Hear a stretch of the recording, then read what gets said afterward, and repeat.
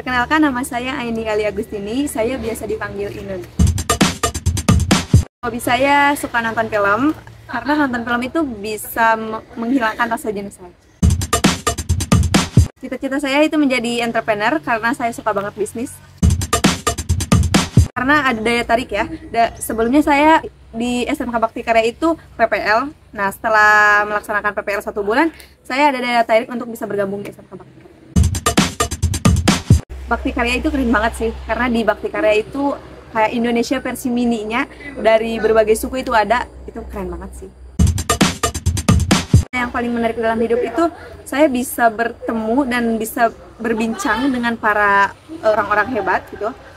Dan saya bisa lebih langsung dengan orang-orang yang dari luar daerah aktivitas saya di Pangandaran itu menjadi mahasiswa sekaligus aktivis organisasi dan menjadi relawan di SMK Bakti Karya.